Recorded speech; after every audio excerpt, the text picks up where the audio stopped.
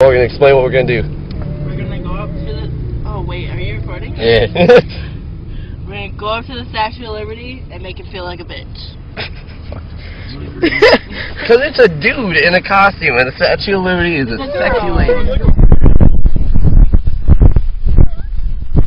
What can I say about this? Statue of Liberty. Go back to Ohio! We are wanted! Godzilla kill you! Fuck! Fuck!